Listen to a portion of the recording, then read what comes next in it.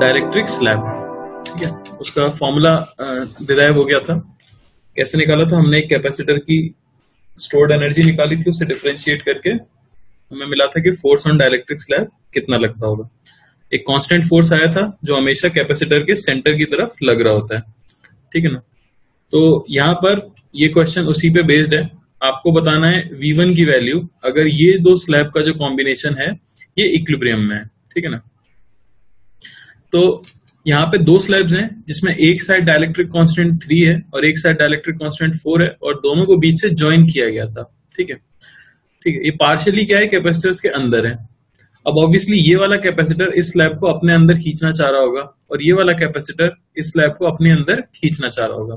और क्योंकि दोनों स्लैब्स कनेक्टेड हैं तो ये किसी एक डायरेक्शन में ही जा सकती है। अब बोला गया है कि अगर C2 कैपेसिटर के across two V naught potential difference है तो बताओ C1 के अक्रॉस कितना पोटेंशियल डिफरेंस होना चाहिए? अगर ये स्लैब का कॉम्बिनेशन इक्विलिब्रियम में है तो। ऑब्वियसली तो हमें क्या करना होगा? स्लैब के ऊपर नेट फोर्स ज़ीरो करना होगा। तो बताओ जरा वी वन की वैल्यू क्या आएगी?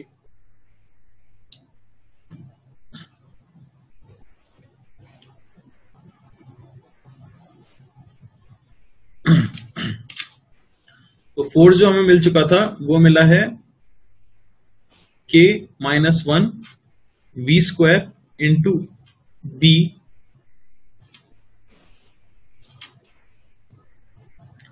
by two D ठीक है ना?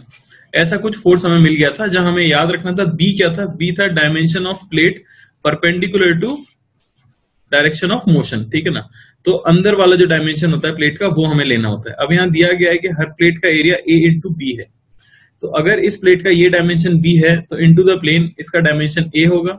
इसका ये डायमेंशन ए है तो इंटू द प्लेन इसका डायमेंशन क्या होगा? बी होगा। तो सिंपली हम दोनों तरफ़ लगने वाले फोर्स को इक्वेट कर देते हैं। ये कुछ इस तरह से हो गया, ये थ्री और ये फोर है हमारा के मैं बोल देता हूँ, यहाँ पे फोर्स लगा होगा कुछ एफ़ वन यहाँ पे लगा होगा कुछ एफ़ टू तो क्या हो जाना चाहिए? आप कह सकते हो एफ़ वन इक्वल होना चाहिए एफ़ टू इक्विलिब्रियम के लिए।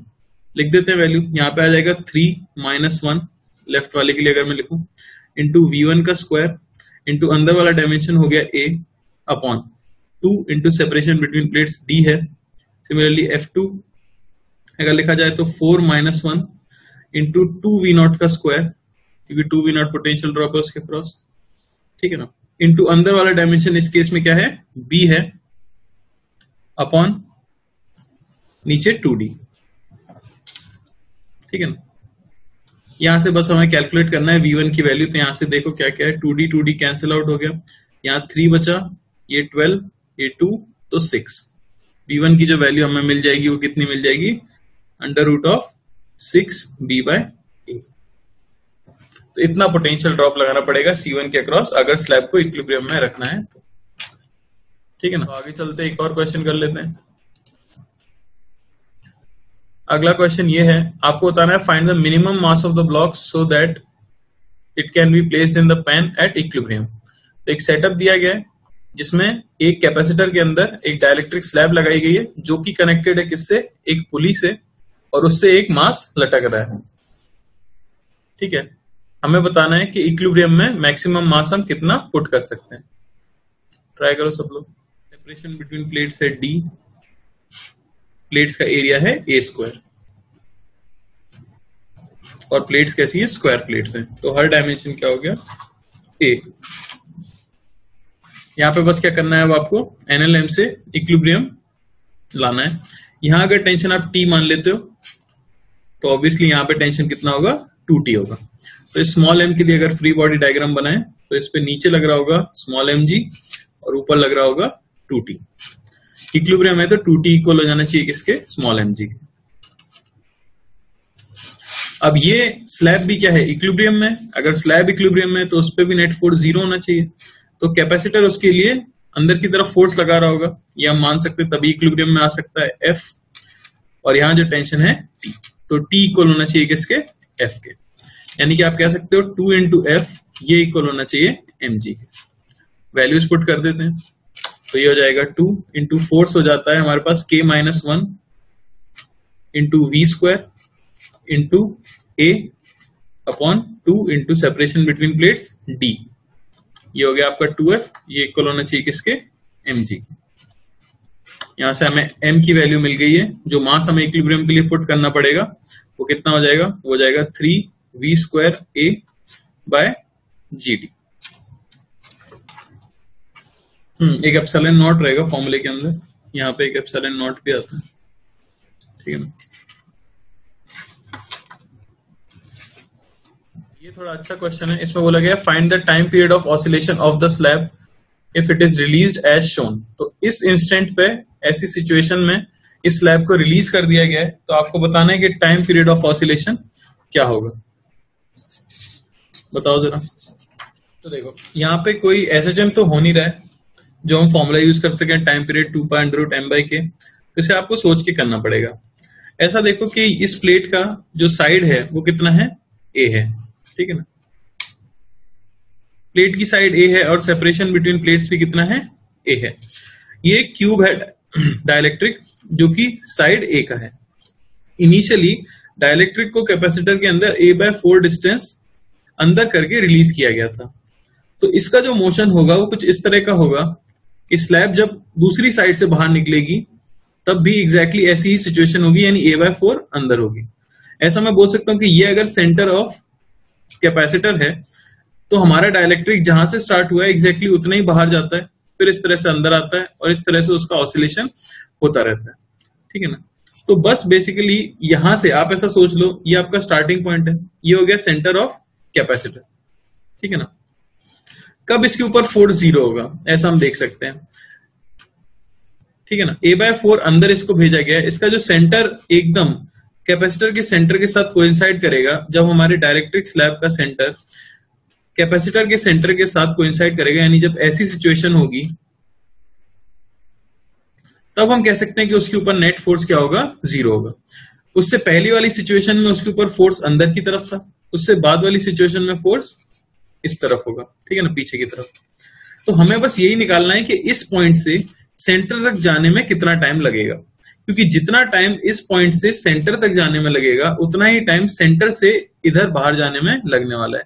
सिमिलरली बाहर से फिर सेंटर तक आने में इतना ही टाइम लगेगा और फिर सेंटर से यहाँ आने में उतना ही टाइम लगने वाला है। समझ आ रही बात?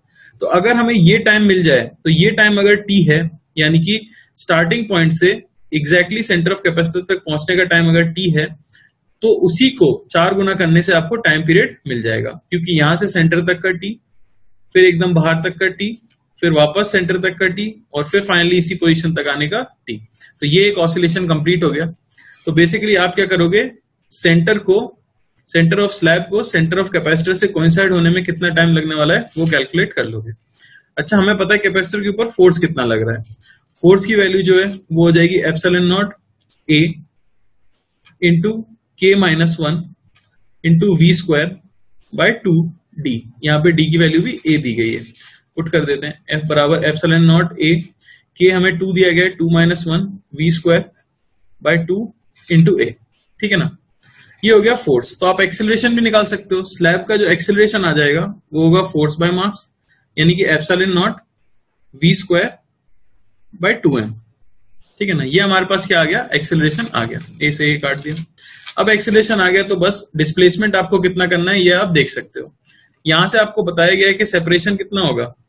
ये पॉइंट से सेंटर की दूरी कितनी होगी? ए बाय फोर है कि नहीं? तो इसे ए बाय फोर और ये हमारा सेंटर ऑफ़ मास है स्लैब का। सेंटर ऑफ़ मास एज से कितना पीछे होगा? ए बाय टू क्योंकि ये क्यूब है ए साइड का। तो A by two plus A by four centre of mass को कितना चलना है? थ्री ए बाय फोर तो डिस्प्लेसमेंट सेंटर ऑफ़ मास का जो होना चाहिए स्लैब का, वो होना चाहिए थ्री ए बाय फोर तो बस अब मैं सिंपली फॉर्मुला लगा दूँगा S is equal to half A T square और वहाँ से हम टी कैलकुलेट कर लेंगे। ये आ गया थ्री ए बाय फोर ये जाना चाहिए half acceleration epsilon naught V square by two M into T square ठीक है यहाँ से हमें टी मिल गया। टी की वैल्यू कितनी आ गई? टी की वैल्यू आ जाएगी under root of three A M by epsilon naught V square अब आपको टाइम मिल चुका है तो टोटल टाइम पीरियड जो होगा, वो इसी का चार गुना होगा। तो इसे आप सिंपली क्या लिख सकते हो? फोर टी यानी four under root three A M by epsilon naught V square बताओ डाउट है किसी को टाइम पीरियड का क्वेश्चन आए। आप क्या करोगे? सिर्फ़ उसके स्टार्टिंग पॉइंट से एग्जैक्टली सेंटर कोइंसाइड तक तक होने तक का टाइम पीरियड कैलकुलेट कर लोगे और उसे क्या कर दोगे? फोर टाइम्स ठीक है ना? ऐसा कर देने से आंसर आ जाएगा। आगे बढ़ जाते हैं। अब ये क्वेश्चन है। इसमें बोला गया find the heat generated if the plates of a capacitor are connected to each other ठीक है ना? हाँ बेटा अब अगर इसे हम कनेक्ट कर देते हैं कंडक्टिंग वायर से तो हीट जनरेटेड आपको बतानी है।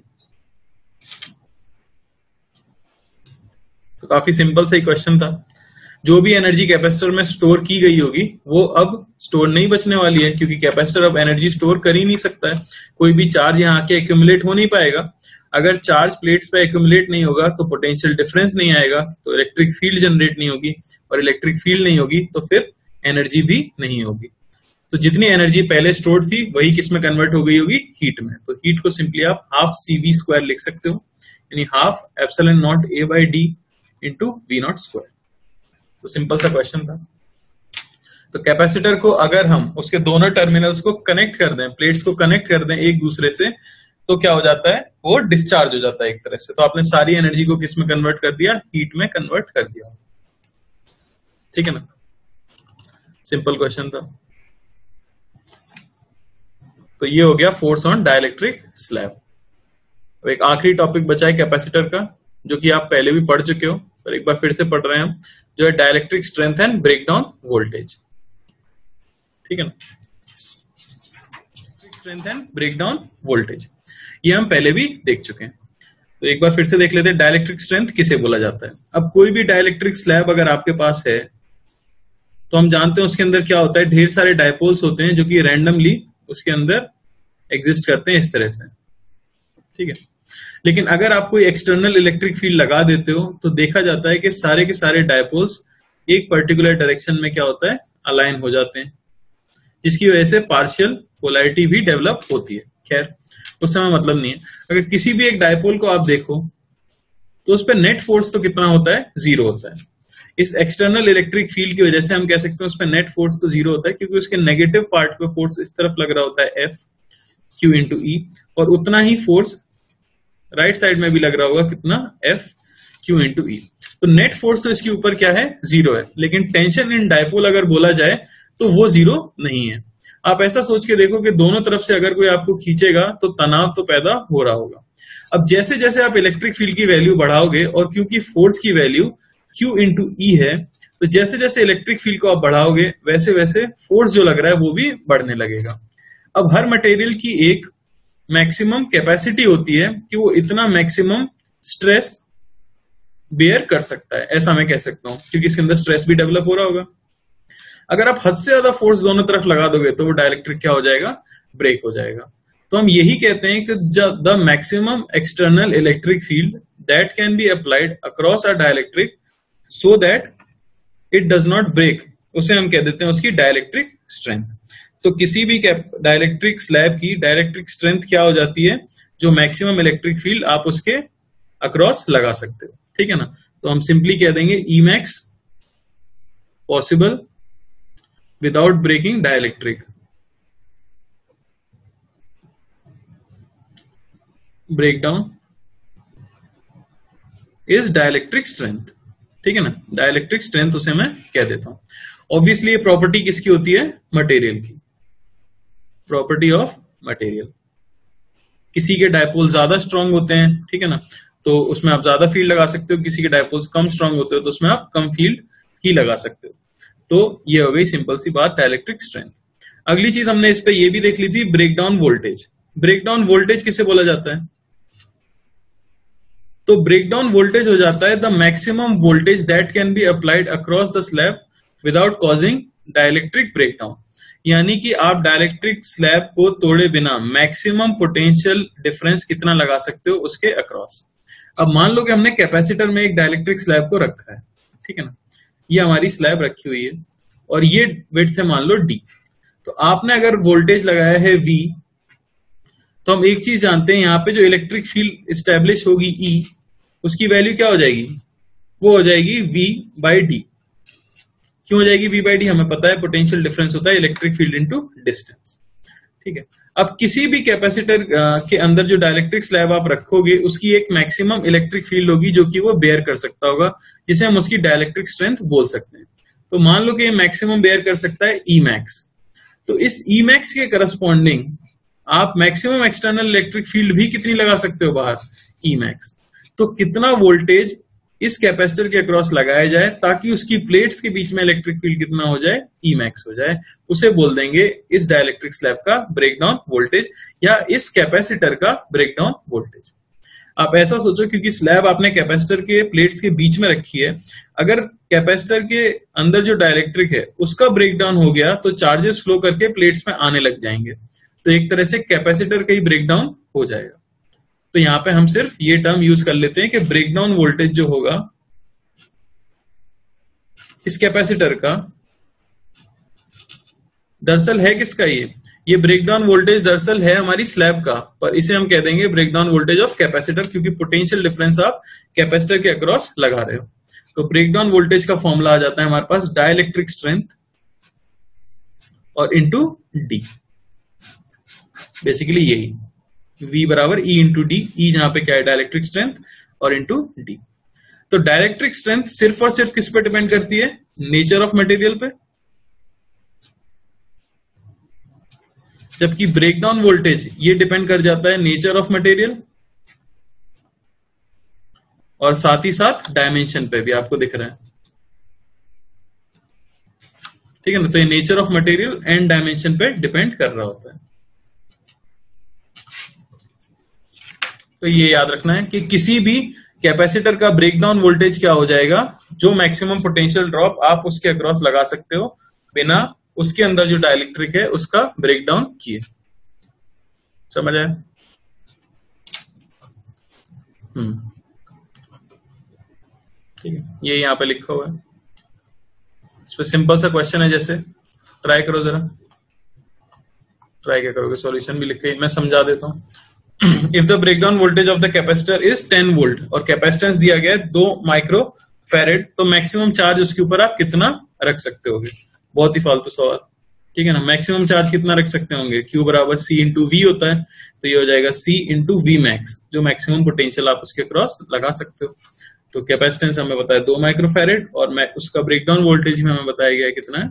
दस वोल्ट तो चार्ज आ गया आपका बीस माइक्रो कुलम तो अगर आपको किसी कैपेसिटर का ब्रेकडाउन वोल्टेज पता है तो आप क्या बता सकते हो? उस पर मैक्सिमम चार्ज कितना हम स्टोर कर सकते हैं बिना उसके अंदर डायलेक्ट्रिक का ब्रेकडाउन किए।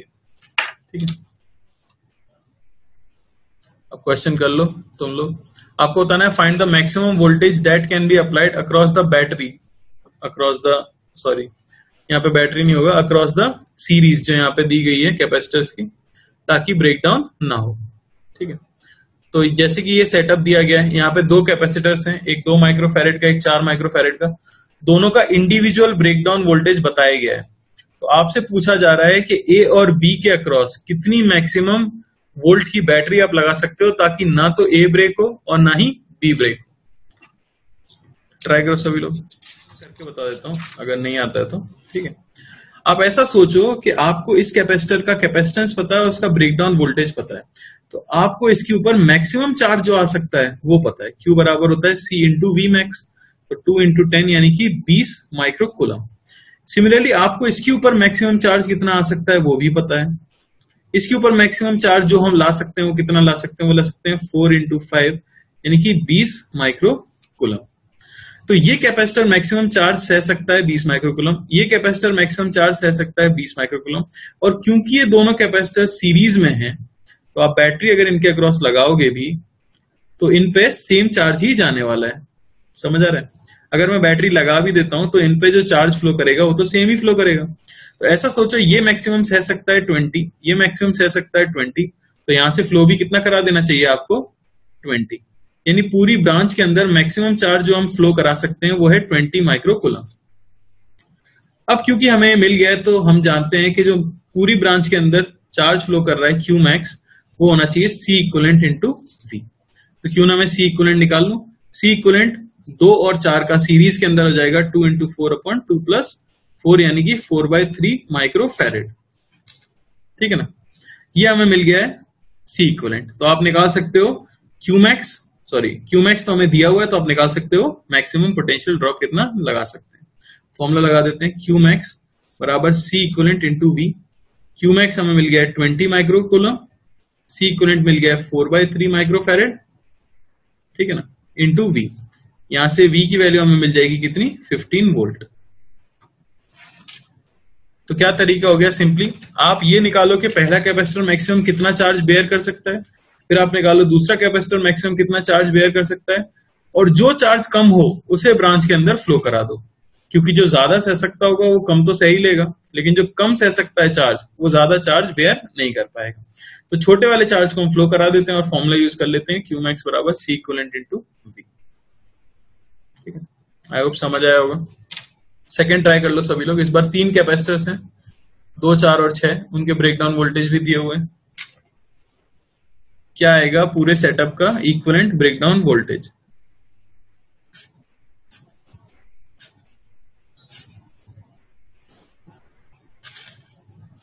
यहाँ पे 10 वोल्ट 4 वोल्ट, तीन वोल्ट, दो माइक्रोफेरेड, चार माइक्रोफेरेड, छह माइक्रोफेरेड।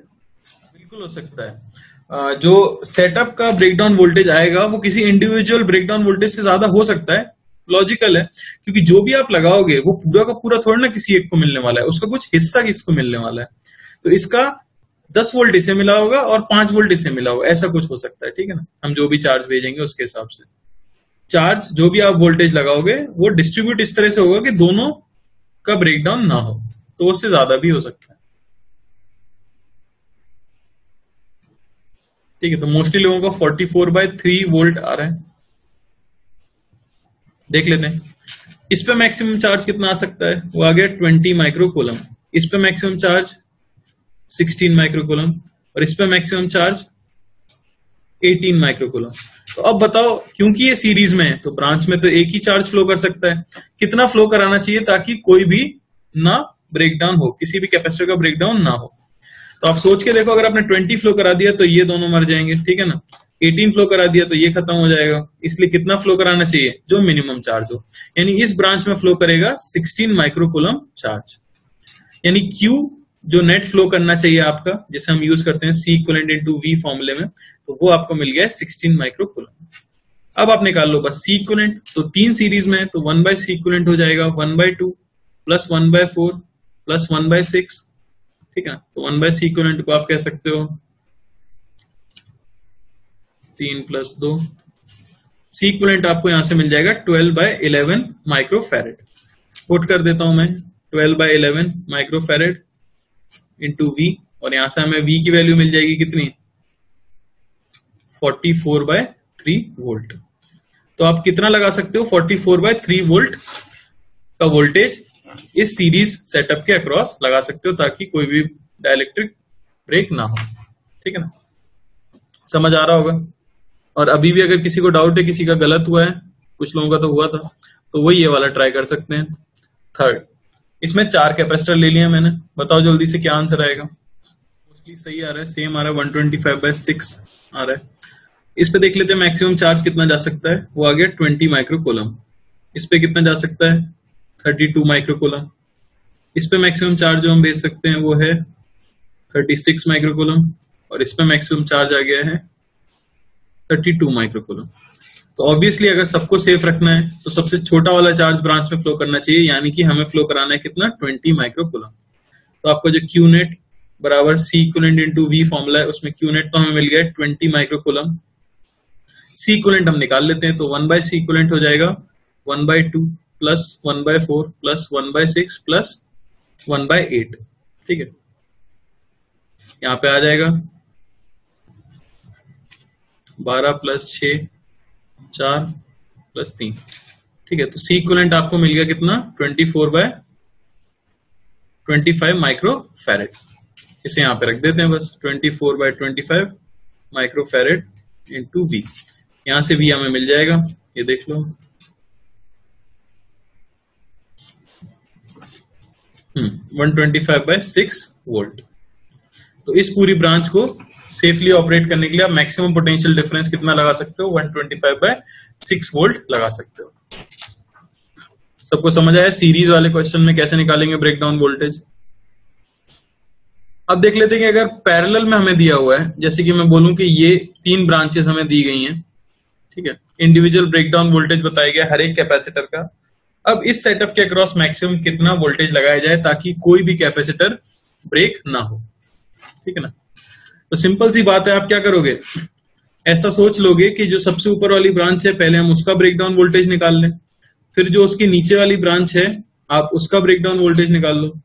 और जो तीसरी वाली ब्रांच है, उसका भी ब्रेकडाउन वोल्टेज निकाल लो। ठीक है ना?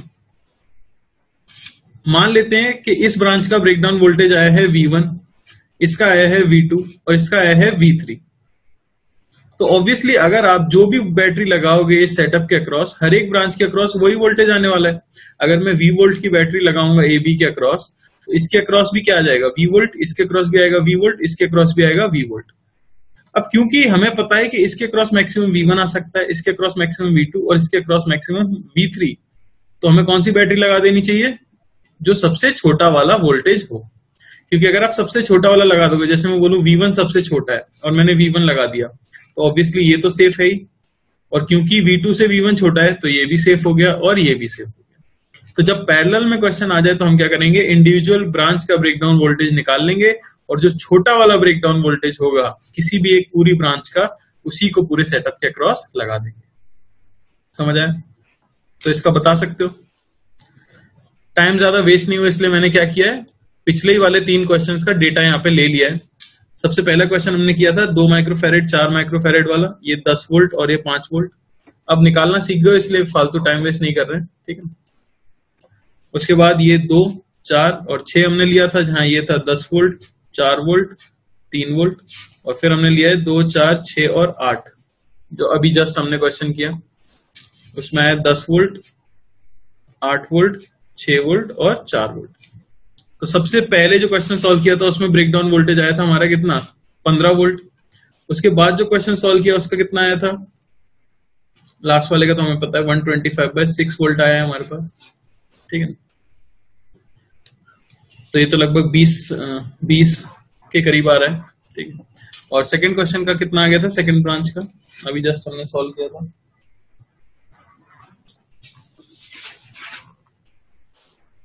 Forty four by three volt. ठीक है ना? इसका आया था forty four by three volt. Obviously आप कौन सा लगा देना चाहिए? जो सबसे छोटा हो। यहाँ पे आप देख सकते हो। फोर्टी फोर बाय थ्री कितना हो जाएगा? लगभग ये इलेवन के करीब नहीं। एट फोर्टीन के करीब हो रहा है। ठीक है ना? हम्म। तो आपको कितना लगा देना चाहिए? Forty four by three volt लगा देना चाहिए। तो सबसे छोटा वाला वोल्टेज हो।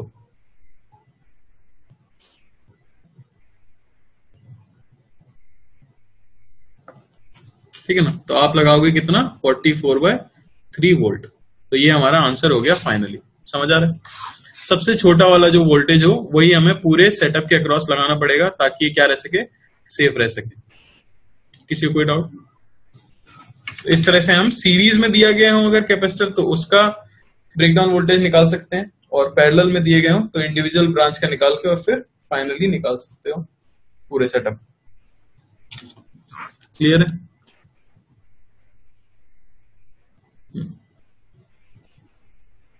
और इसके बाद बस एक सिंपल एक लास्ट क्वेश्चन दिया था, जो कि अब इन सब पे बेस नहीं है, ऐसी एक क्वेश्चन है, जो है find the speed at which a particle must be projected to exit the capacitor without striking the plates of the capacitor तो कितनी मैक्सिमम स्पीड से इस पार्टिकल को थ्रो करना चाहिए? मिनिमम कितनी स्पीड से थ्रो करना चाहिए? ताकि ये कैपेसिटर को जब एग्जिट करे तो इस प्लेट को, जो कैपेसिटर की प्लेट्स हैं, इन्हें वो स्ट्राइक ना करे। ठीक है? ट्राई करो जरा एक बार। लास्ट क्वेश्चन है चैप्टर में। तो ऐसा सोच लो, ये बैटरी लगाने की वजह से जो इलेक्ट्रिक फ़ील्ड आई होगी, वो कैसे आएगी? ये पॉजिटिव प्लेट होगी, ये नेगेटिव प्लेट होगी तो इलेक्ट्रिक फ़ील्ड कुछ इस तरह से। ठीक है? और आपका जो पार्टिकल है, उस पर चार्ज बताया गया, अगर पॉजिटिव है तो उस पर फोर्स लगेगा किस डायरेक्शन में? इलेक्ट्रिक फ़ील्ड की डायरेक्शन में, यानी नीचे की तरफ़? तो आपने इस तरह से स्पीड दी है ग्रेविटी को निग्लेक्ट कर देगा तो भी उसका पाथ जो होगा, वो किस तरह का होगा? कुछ इस तरह का होने वाला है, क्योंकि वो इलेक्ट्रिक फ़ील्ड की वजह से नीचे भी मूव करेगा। तो हमें इतनी मिनिमम स्पीड देनी चाहिए कि जस्ट जब वो डिस्टेंस ए कवर करे, ये डिस्टेंस ए तब वो वाई में कितना कवर कर पाए? डी बाई थ्री कवर कर पाए। ठीक है? सिंपली सबसे पहले तो मैं निकाल लेता हूँ इलेक्ट्रिक फ़ील्ड कितनी होगी? तो इलेक्ट्रिक फ़ील्ड आप देख सकते हो between the plates of capacitor हो जाएगी वी बाई डी क्योंकि पूरा सेपरेशन क्या दिया गया है? डी दिया गया है। तो फोर्स हो जाएगा क्यू इंटू ई यानी कि क्यू वी बाई डी तो एक्सेलरेशन हम देख सकते हैं वाई डायरेक्शन में जो आएगा, वो आपको मिल जाएगा Q V by M D ठीक है ना?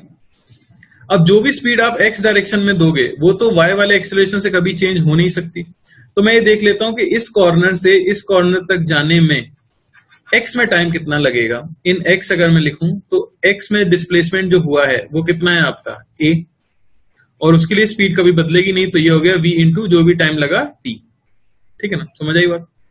तो यहाँ से हमें टी की वैल्यू क्या मिल गई? ए बाय वी समझ आ रहा है? इतना टाइम लगने वाला है।